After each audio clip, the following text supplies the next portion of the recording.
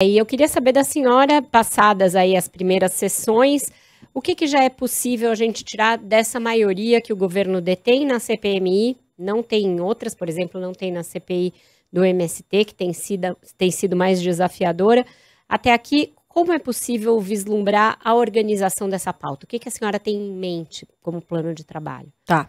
Nós elaboramos, Vera e, e Andreasa, um plano de trabalho. Nesse plano de trabalho, nós centramos na numa organização cronológica, ou seja, o 8 de janeiro, no nosso entendimento, até pelo formato das imagens que nós recebemos até o primeiro, até essa, esse primeiro momento, nos levam a crer que não foi um evento que ele ocorreu em si no dia 8. Tanto não foi que os acampamentos que estavam lá, por exemplo, ali nos arredores é, do, do, Exército, ali na Praça dos Cristais, lá, é, naquele dia, no dia 7, por exemplo, a quantidade de participantes dos acampamentos já era de fato muito baixa. Quer dizer, eles não estavam ali e resolveram sair dali para chegar na Praça dos Três Poderes. Não foi, já havia uma, uma quantidade de fato muito pequena. As pessoas que vieram para ali, eles vieram de outras regiões, inclusive de outros estados, né? E se aglutinaram em torno é, daquele volume de pessoas para a invasão na sede dos três poderes. É, por exemplo, eles utilizaram os gradis para, além de derrubar a barreira que interrompia a chegada é, até a, a, a, Praça dos Três Poderes, eles também utilizaram essas barras para subir quando necessário nos prédios. É, eles usaram as mangueiras de água para dispersar o gás lacrimogênio, coisa que, por exemplo, quem não é da área não tem essa compreensão, né? Ah, os, os, a, as vidraças elas foram quebradas, inclusive com esferas de muito pequenas, ou seja, tem um poder muito grande de trazer, na verdade, uma quebra, uma danificação do vidro, mesmo com pedras muito pequenas, né? Então, é, usando estilingues, por exemplo. Então, há uma série de um rito naquela, naquela chegada que nos levam a crer claramente que houve um planejamento, que houve alguém que idealizou aquele momento, alguém que pensou, alguém que planejou e, naturalmente, alguém que financiou. E todos os acampamentos, eles foram, eles se iniciaram no dia 31 de, de, outubro, e eles perduraram aí até o dia 8 de janeiro, até às vezes até um pouco mais, 9, 10, quando houve uma ação realmente muito intensa de desmobilização de todos. Mas naquele momento eles estavam em acampamentos, acampamentos custeados, Vera e, e Carlos Andreasa, se a gente vai fazer um acampamento num parque aqui de São Paulo, por exemplo, você vai numa tarde com a família, você tem um custo. Você tem que ter comida, tem que ter uma estrutura para você sentar, ou às vezes deitar e tal.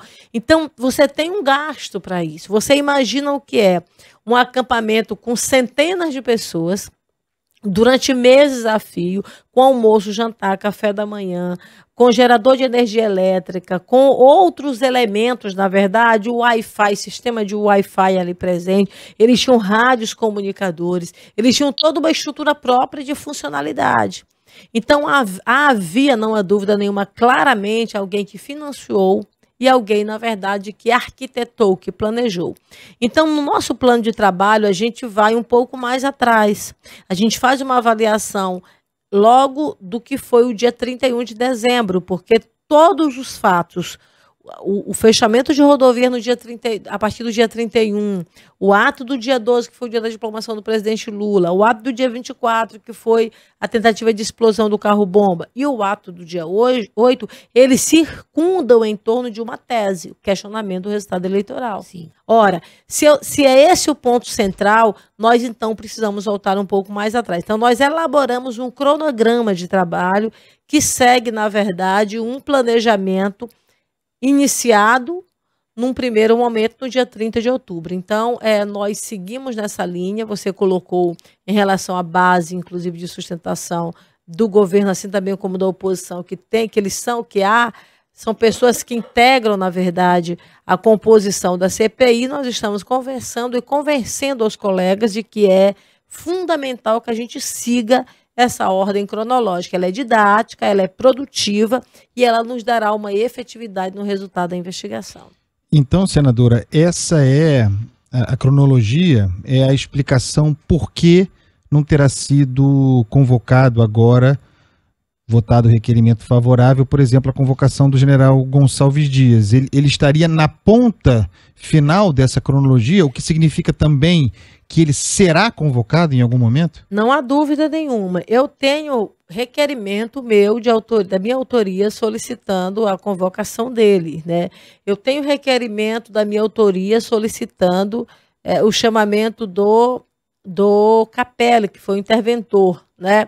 Eu coloquei no meu plano de trabalho a necessidade da vinda do Flávio Dino e apresentarei um requerimento em relação ao convite do ministro Flávio Dino, que nunca se furtou de no Congresso Nacional. O Flávio foi uma das pessoas que jamais foi chamadas ao longo dos últimos meses no governo do presidente Lula. Então, eles virão. Agora, veja, se eu tenho uma ordem cronológica de fato aprovada em plenário pelo meu plano de trabalho, eu não posso, como se fala no jargão popular, colocar o carro na frente dos bois. Eu tenho uma ordem, na verdade, que eu preciso seguir. Então, a gente entende que neste primeiro momento nós precisaríamos ouvir o Anderson Torres, por exemplo, que ele foi ministro do governo anterior, no dia 31 de, de outubro ele era ministro, no dia 12 de dezembro ele era ministro, no dia 24 de dezembro ele era ministro, no dia 8 ele era secretário de Segurança Pública do, de Brasília. Não tem uma pessoa que ligue mais os dois momentos políticos do Brasil do que o Anderson Torres. Compreendemos que é urgente e premente a ida dele à comissão, até para nos situar em relação a informações. Nós temos também o Cid Gomes, o Cid Gomes, não, o, Cid, o Mauro Cid. Coronel Cid. Cid Gomes é o nosso grande companheiro é, do estado do Ceará. O Mauro Cid, ele foi encontrado no celular do Mauro Cid uma minuta de uma GLO. Ou seja, havia naquele momento um sentimento, na verdade, de criar uma situação de instabilidade política no Brasil que fosse elemento suficiente para preceder a instauração de um golpe. Então, de uma, de uma, de uma intervenção militar. Ora, se eu tenho uma GLO, se eu estou buscando condições para criar um estado de sítio, para quê? Em qual momento? Logo após o resultado de uma eleição, onde há vários movimentos tentando, na verdade, implantar a ideia do questionamento do resultado da eleição. Então, é, do ponto de vista de organização, nós compreendemos que o G Dias deverá vir e virar. Ele virá, porque ele também tem um papel fundamental, porque estava no GSI no dia 8 de janeiro. Então, ele tem um papel muito importante. Como o Flávio Dino, que é ministro da Justiça, também tem muitas informações, de fato, a nos dar. Agora, é, é, é, Andreas, o que é que nós temos? Nós temos a Polícia do Senado, a Polícia da Câmara, a Polícia do, do, do, do Supremo Tribunal Federal e a Polícia do Governo, que é, que é o GSI, que estava na, na, na, na juntando todos eles, uma força de proteção desses ambientes físicos, né?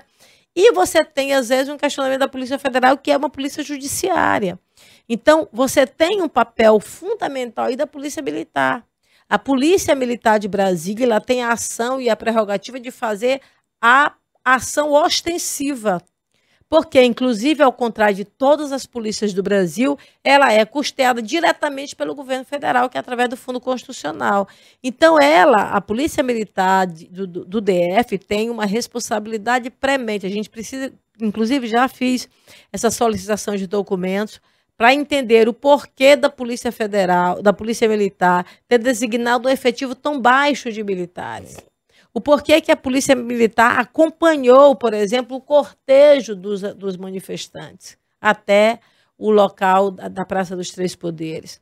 O porquê, por exemplo, de que policiais que deveriam impedir, coibir a entrada estavam lá, de certa forma, não é? Eu diria, pagiando ou até auxiliando em algumas situações, como nós vimos ali, distribuição de água, enfim. Então, a polícia militar, ela tem um trabalho diferente, ela tem o uso da força, isso é constitucional.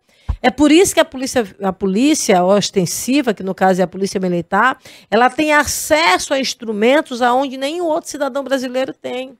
Sim. Que é o acesso à arma, que é o é, acesso a instrumentos, na verdade, de utilização mais coercitiva, não é? Como, enfim, vários outros instrumentos, gás lacrimogênio, é, é, bombas de efeito moral, é, é, armas com, com balas de, de borracha. Então tem uma estrutura não letal que pode ser usada que é uso da força para conter esse tipo de situação e que claramente o Brasil inteiro viu que isso realmente não foi utilizado. Senadora, é, a gente viu aí em todo o balé de se instala, não instala CPI, vai ter CPI, não vai ter, uma alegação inicial por parte do governo de que não seria necessária a CPI, justamente porque a Polícia Federal, o Supremo Tribunal Federal já estão investigando todas essas circunstâncias. Mas aí ela foi é, fruto de muita insistência por parte da oposição e depois daquelas imagens em que, teoricamente, o general G. Dias tem ali, no mínimo, uma omissão em, em relação ao que estava acontecendo no Palácio,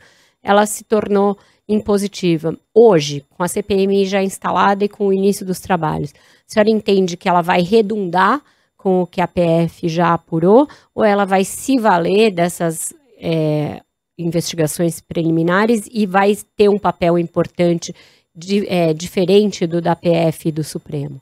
Olha, eu acho que a CPI, ela até pela própria formatação, ela tem um papel um pouco diferente num elemento e num quesito específico, né?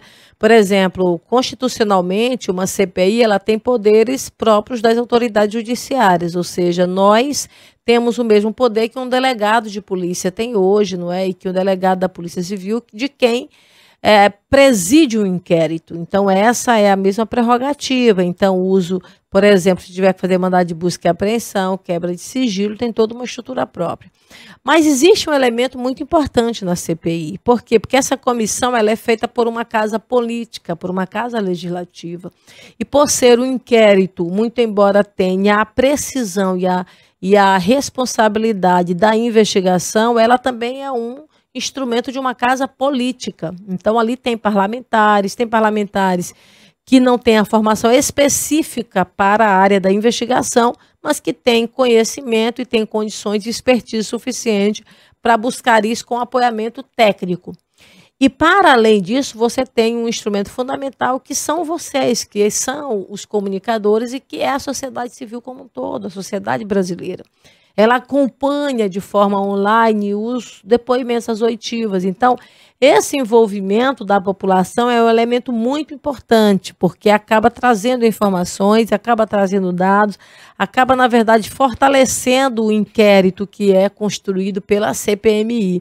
Então, eu acredito que ao longo dos próximos meses, porque nós temos 180 dias, nós chegaremos aí em fatos novos, em informações novas, né? Nós temos muito pouco tempo do ponto de vista da busca e do processo burocrático, porque a gente vai ter que ler muitos documentos. Eu estou com uma equipe muito uhum. ampla. Uhum. Pedi mais servidores, inclusive, estou dividindo tarefas na equipe para que todos realmente possam estar nos ajudando e nos auxiliando com esses dados. Então, eu acredito que a gente poderá ter contribuições novas, sim, na CPMI. Senadora, eu vou, te peço, inclusive, peço, inclusive, desculpa, senhora, vou insistir na questão do Gonçalves Dias, porque é algo que não depende exclusivamente da senhora e sobre o que há grande desconfiança de, de parte da sociedade. Me refiro a projetando o futuro desse cronograma, chegando no andamento do ritmo do trabalho como a senhora projeta, chegando o momento do 8 de janeiro na comissão, é, se convocar então Gonçalves Dias. A senhora, é, muita gente acha que isso, que isso é, é um movimento protelatório. Então a minha pergunta é: a senhora realmente acha que quando chegar esse momento a CPMI formará a maioria para demandar a, a convocação do general? Não há dúvida nenhuma. Mais uma vez, é, eu reafirmo, eu tenho requerimento da minha autoria que, diante, por exemplo, é, de uma insistência de querer inverter a ordem do nosso cronograma, nós chegamos no entendimento que não era o momento também de ouvir o, o, o G. Dias, como também não era o momento de ouvir o Flávio. Então, nós vamos ouvi-lo. Isso daí a sociedade brasileira pode ter convicção. Nós temos uma casa e um colegiado, e aí não, não é exagero que eu vou dizer, a população brasileira está acompanhando. Existem ali parlamentares que querem criar um clima de baderna na CPMI. Todo mundo está vendo, a gente viu a última reunião como se deu.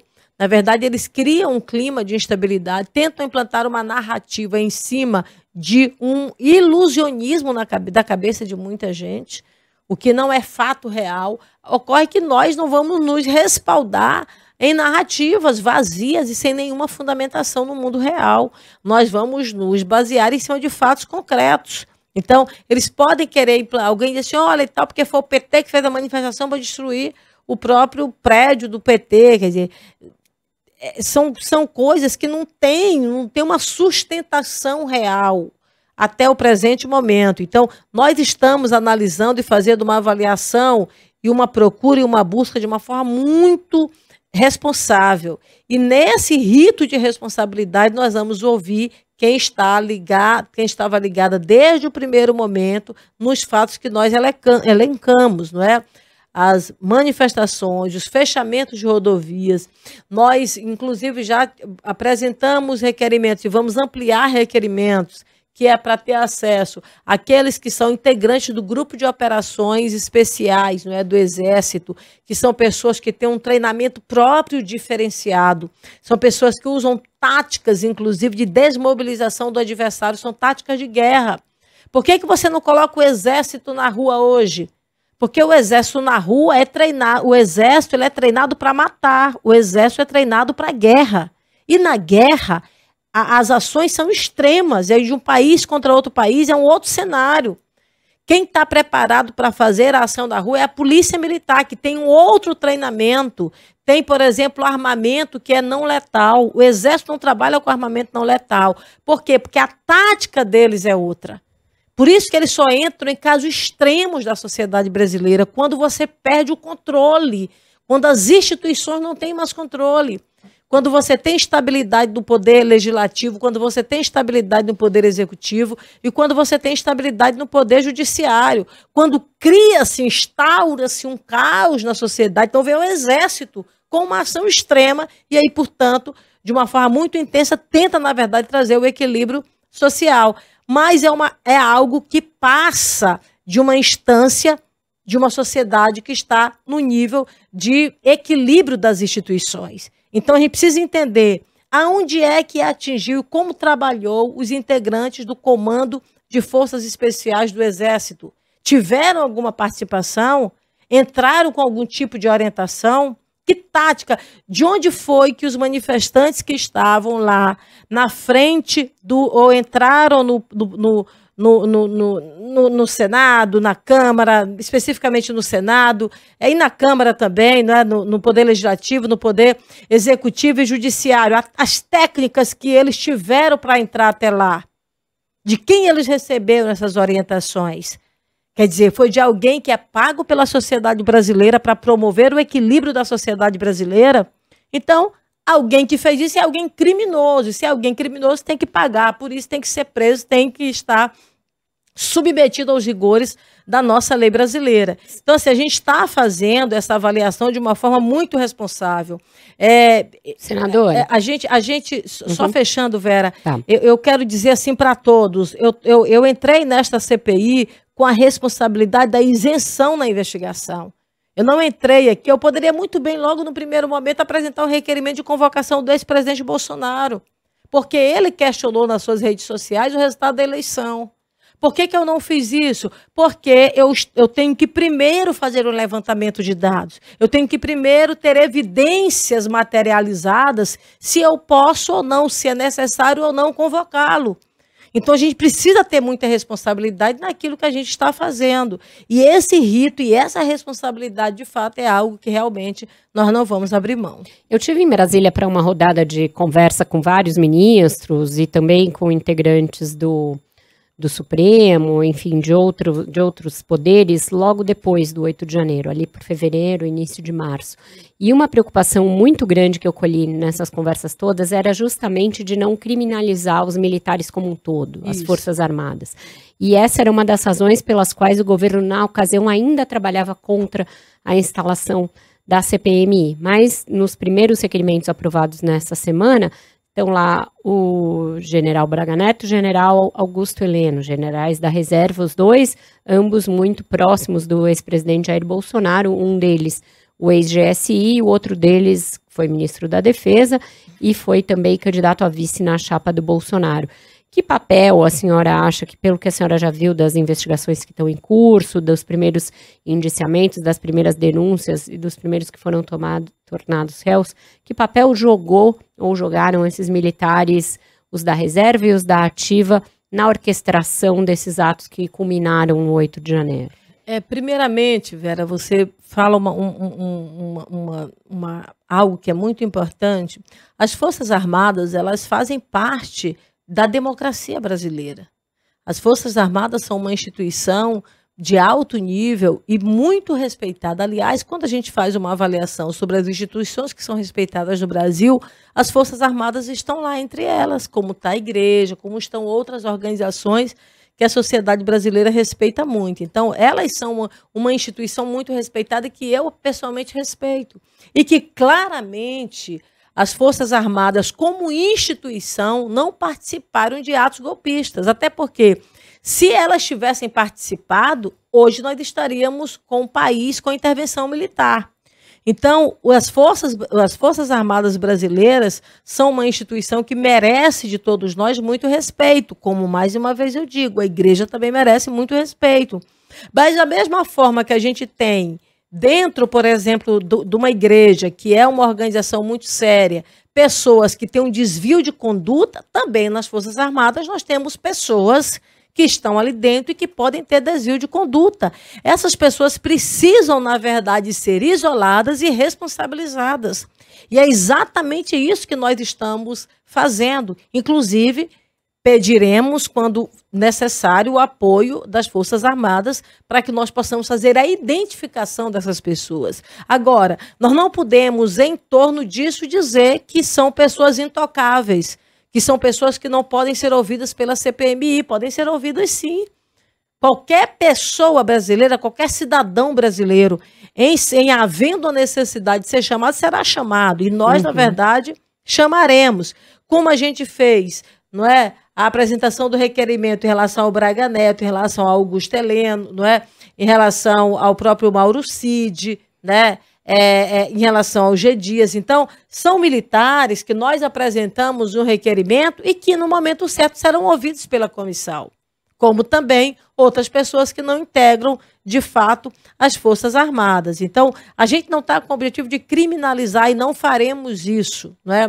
Eu quero sempre deixar isso muito claro, o nosso respeito às instituições brasileiras e dizer que as Forças Armadas elas têm um papel fundamental no Brasil, tiveram, têm e continuarão tendo exatamente nesse equilíbrio brasileiro, nessa harmonia brasileira, nesse fortalecimento do nosso Estado democrático de direito. Agora, faremos a convocação quando for necessária, ouviremos de fato como for quando for necessária, em nome é, da justiça, não é? E, sobretudo, na busca de quem foram os verdadeiros autores do 8 de janeiro.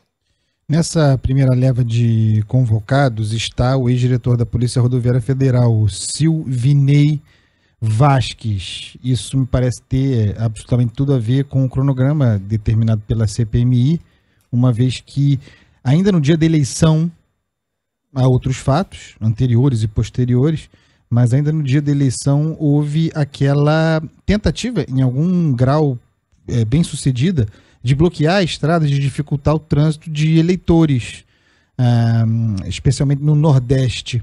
Qual é, o, qual é a perspectiva para se ouvir o diretor da Polícia Rodoviária Federal e considerando esse histórico, esse, esse cronograma? Qual é o caminho ah, com essa oitiva?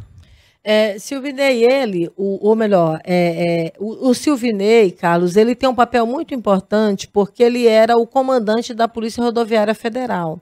Nós tivemos manifestações no dia da eleição, né? Nós tivemos é, atividades e, e, algumas reuniões de planejamento da Polícia Rodoviária Federal para o dia da eleição, inclusive são informações que nós estamos buscando.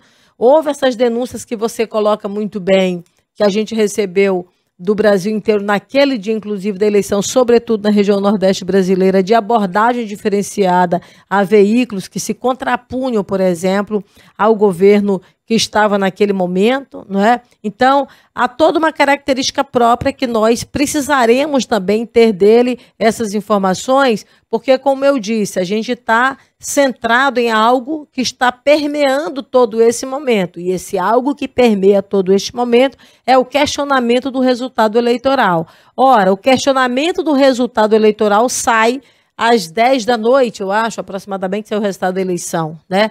É, e de atividades que ocorreram durante todo o dia. Então a gente precisa entender se houve algum planejamento já na perspectiva e já num planejamento também que desse elementos substanciais para o questionamento do processo e do resultado da eleição. E nós também tivemos depois as, o fechamento de rodovias. Lembra que no dia 31 nós tivemos várias rodovias no Brasil inteiro interrompidas, tentativas inclusive de atear fogo em torres de transmissão, né? Tentativas, por exemplo, de invasão em aeroporto é uma tática muito própria. É uma tática muito própria. É, ela, ela, o, qual é aquela tática que tenta inviabilizar o inimigo, que é utilizado, por exemplo, numa tática de guerra? É exatamente isso: é fechar aeroporto, é, é derrubar pontes, é derrubar torres de transmissão.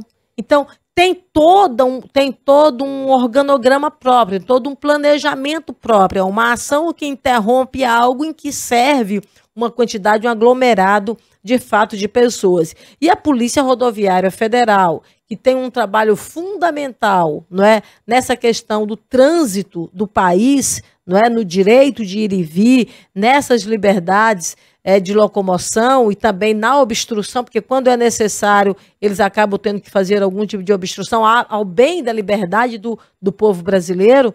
Então, ele tem, é, tem um papel muito preponderante também nesse sentido. No dia 12, nós também tivemos fechamento de rodovias no Brasil inteiro. No dia 24, Carlos, quando nós tivemos a, a o, o, caso da, do, do, do, caminhão de combustível de 75 mil litros de combustível, que era um carro, na verdade, que foi utilizado para. É, com, a, com, aquela presença do artefato que poderia se, se explodir, o George Washington ele veio do Pará para Brasília com um armamento pesadíssimo.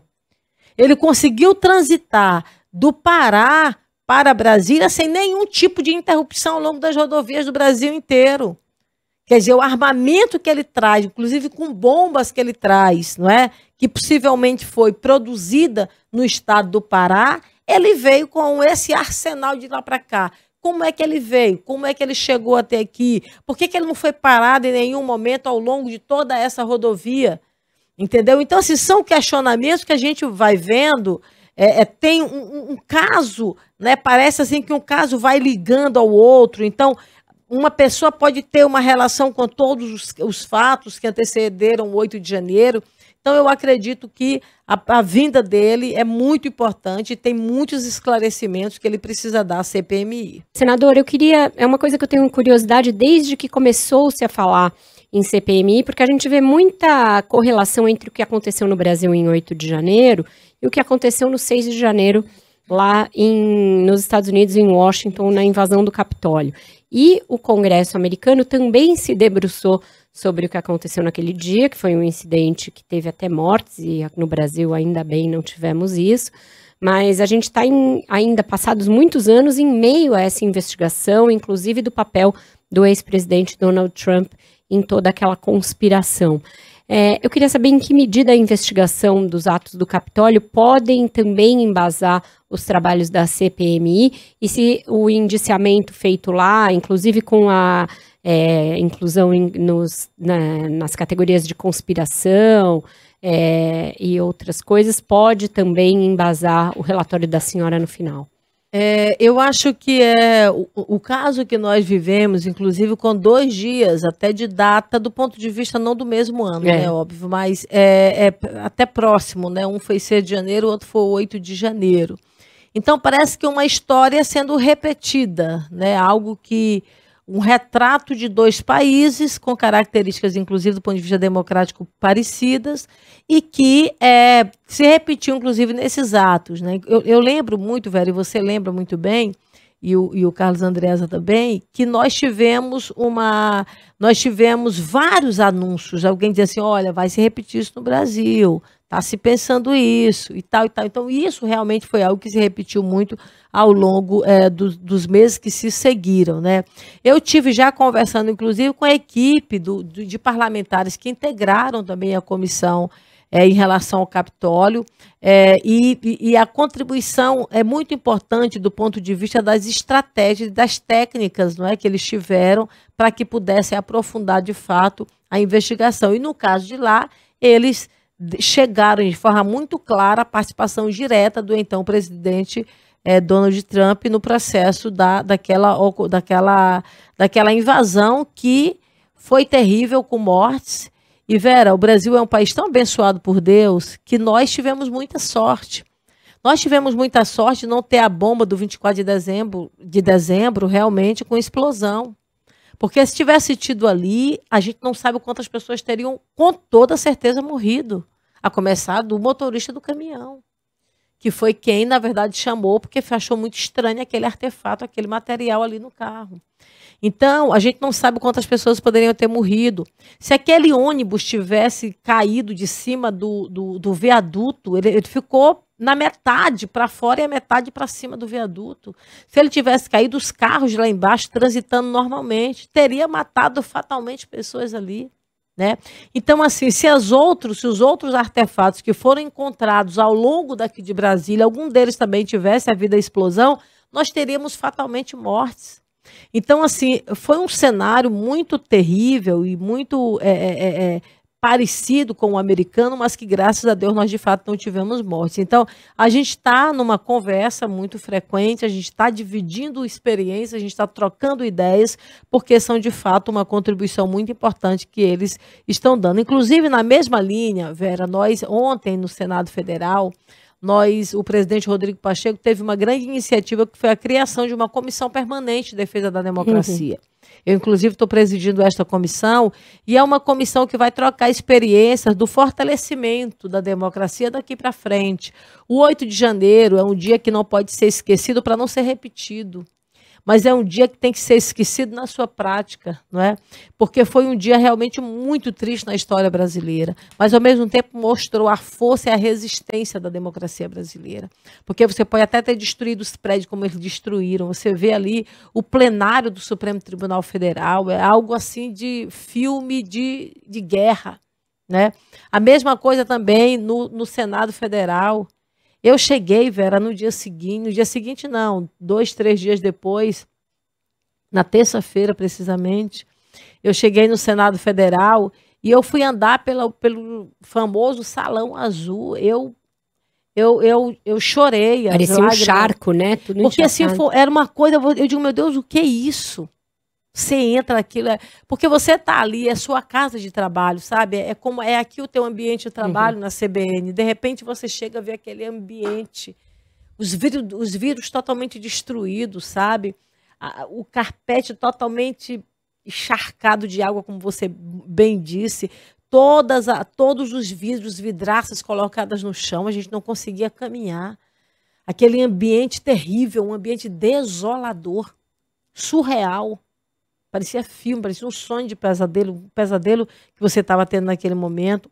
Então é muito devastador. Então, quer dizer, eles destruíram os prédios. É fato, mas eles não destruíram as instituições. O ato que nós tivemos no dia seguinte, com a ida do presidente Lula, da presidente, da presidente Rosa Weber, do presidente Rodrigo Pacheco, do presidente Lira, todo mundo ali de mãos dadas, com um volume muito grande de governadores, todos os governadores do Brasil do governador de São Paulo, passando por todos os governadores, ao governador, por exemplo, da Bahia, ou seja, de todos os partidos, de todas as vertentes, se reuniram três dias depois em Brasília e disseram: olha, nós estamos aqui, nós somos adversário do presidente Lula, do senhor na política, mas nós somos seu aliado na defesa da democracia. Ou seja, as instituições mais fortes do que nunca. Então, acho que esse foi o recado que ficou de fato para o Brasil. E esses terroristas, esses baderneiros, essas pessoas que não têm o menor compromisso com a vida do brasileiro, com a democracia brasileira, com o homem, com a mulher de bem, são pessoas que têm que ter a sua liberdade limitada. tem que ser a sua liberdade cerceada. São pessoas que precisam pagar por isso, sob pena desses atos não se repetirem outras vezes. Então, porque a impunidade é a que gera a perpetuação do crime. Uhum. E eu vejo que essa impunidade, de fato, não pode continuar, não pode acontecer no Brasil.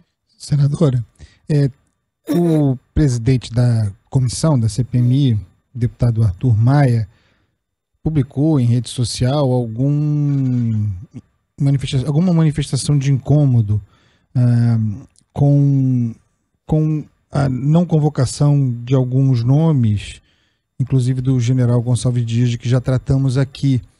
Uh, ele, ele se mostrou constrangido uh, com essa decisão. Então eu pergunto se, primeiro, como é a relação da senhora como relatora com o presidente da, da comissão, como é o fluxo do trabalho, é, e se ele está fechado, comprometido com esse cronograma que a senhora apresentou aqui para nós. É, Andreasa, ele, né, você coloca muito bem que o presidente disse que ficou constrangido com a não aprovação, né? Como eu fico também constrangida de não ter que ouvir logo no primeiro momento o Anderson Torres, porque eu acho que ele deveria ser o primeiro ouvido na CPMI. Né? Agora, isso faz parte da democracia. Os direitos não é? e, as, e os entendimentos eles precisam ser construídos ao longo do processo. Nós construímos o um entendimento para ouvir na terça-feira o PRF e na o ex-PRF e na e na quinta-feira, o, o, Jorge Washington e o Valdir Pires, que era o perito da bomba. Então, foi o que nós conseguimos construir. Honestamente, eu queria que fosse o Anderson Torres, ele faz parte do processo.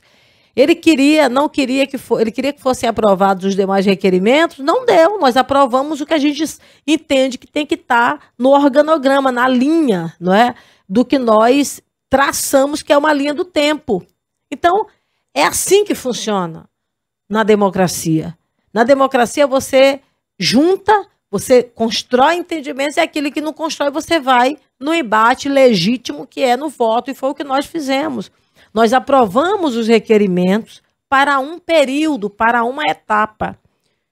Veja, se houvesse apenas um dia de deliberação durante o processo todo da CPI e esse dia fosse o que nós tivemos na semana passada, para aprovar todos os requerimentos até o fim, da CPMI, que são 180 dias, não tivessem sido aprovados, teria-se toda a razão para se questionar a não aprovação.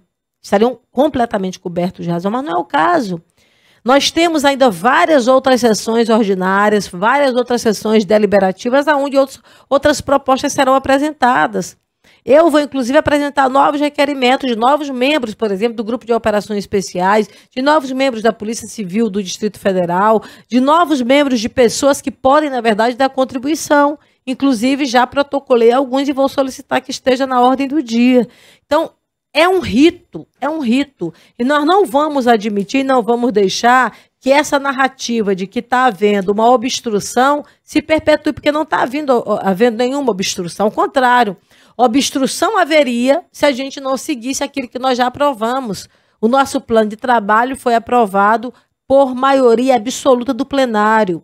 E se ele foi aprovado, ele tem que ser seguido. E nós vamos trabalhar e perseguir todos os dias esse nosso ideal, que é de fazer essa investigação isenta. A senhora participou pela bancada feminina ali como é, uma deferência, né, na época da direção do Senado, porque não havia nenhuma mulher na CPI da Covid. E lá a senhora foi muito atuante, apesar de não ser membro permanente. E agora chega a relatoria num momento em que houve muita discussão sobre quem comporia a CPI ou não. A senhora é a relatora, deputado Arthur Maia, o presidente.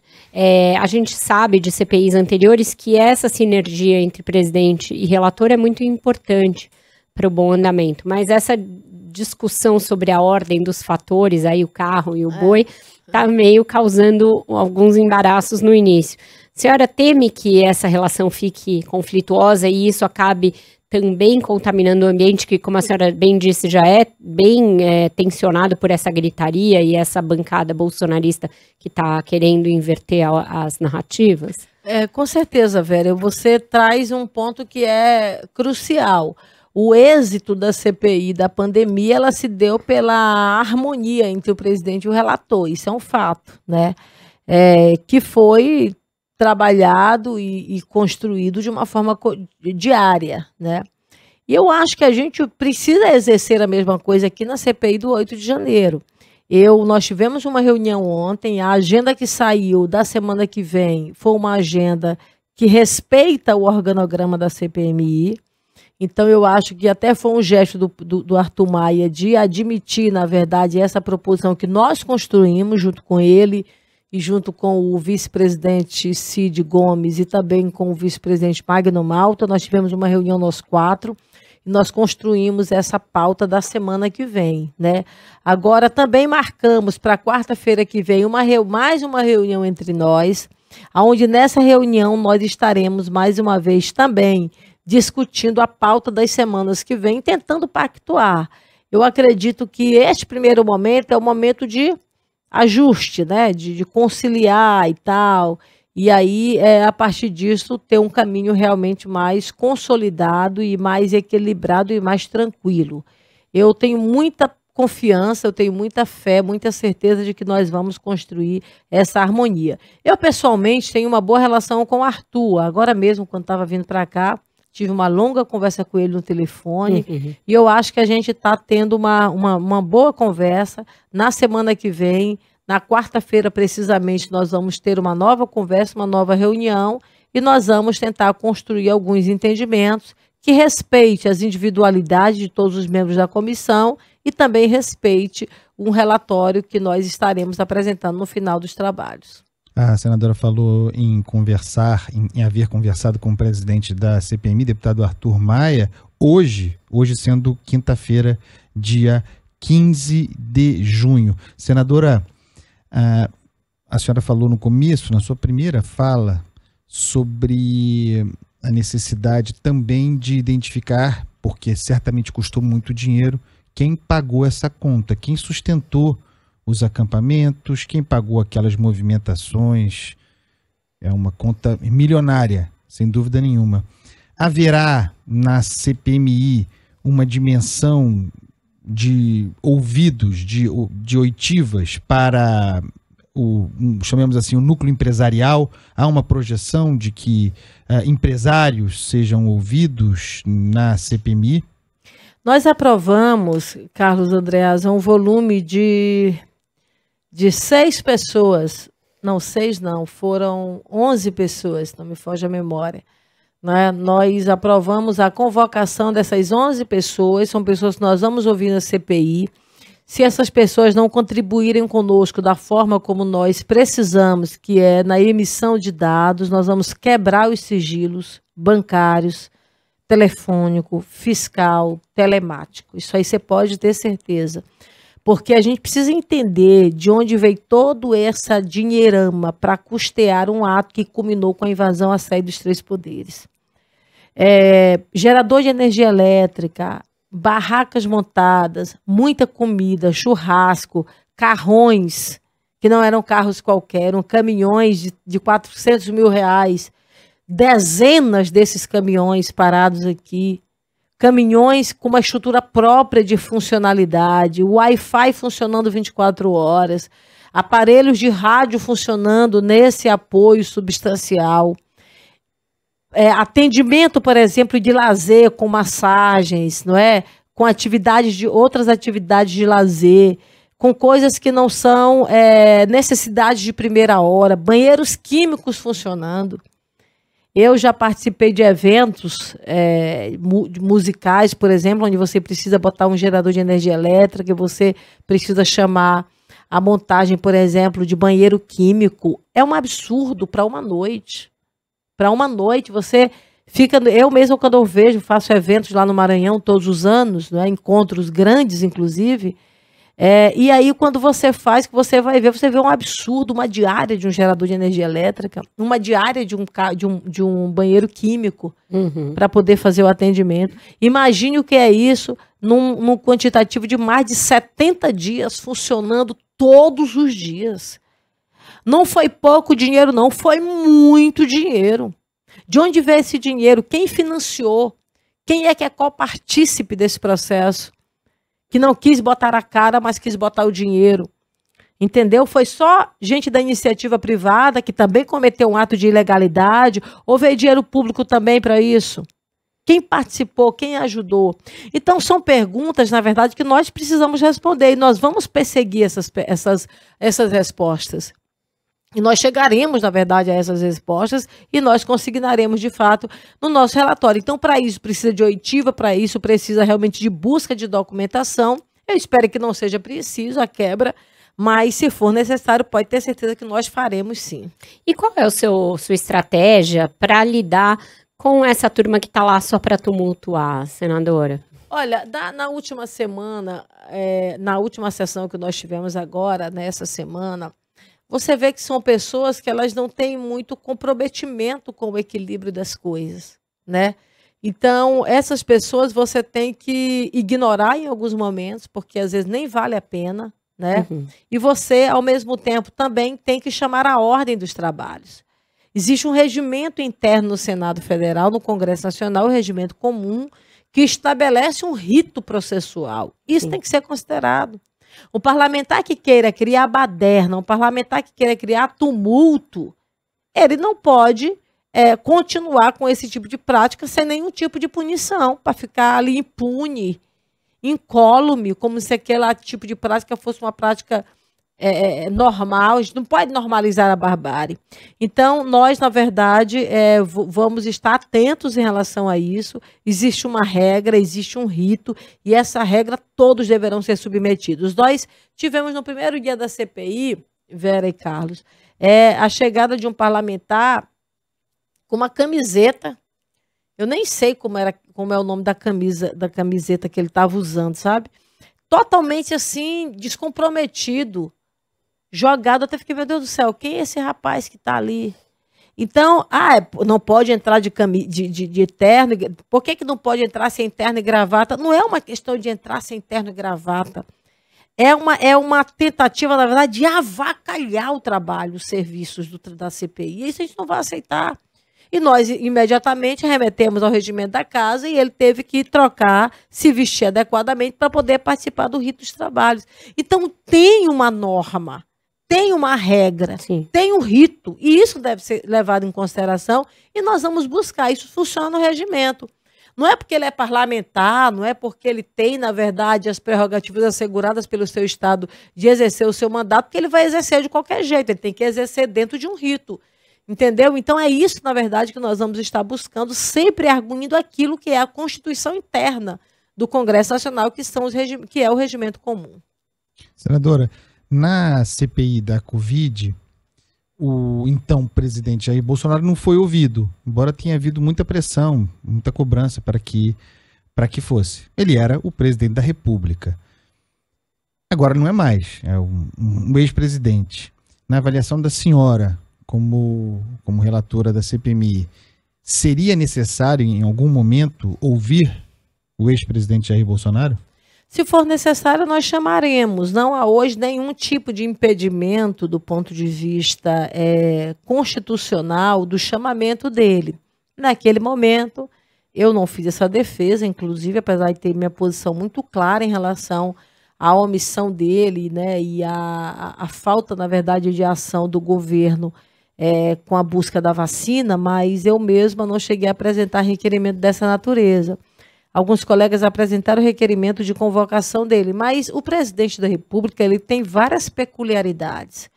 Ele tem uma posição diferenciada do ponto de vista da Constituição por conta é, do seu cargo. Então, qualquer situação, na verdade, que envolva o presidente da República, você teria que ter uma autorização do Supremo Tribunal Federal, tem todo uma, um critério próprio específico. Não é o caso agora.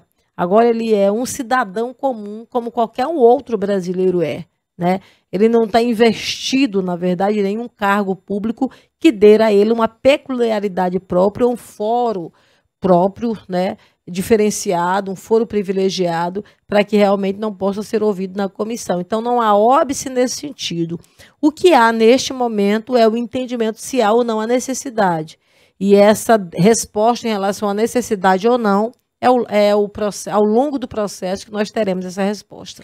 Senadora, a senhora é do mesmo estado do, do ministro Flávio Dino, ministro da Justiça. É, é do PSD, que lá no estado é da órbita da, da aliança que sucedeu o governador e que é, tem ele e que o tem como a principal liderança do Estado.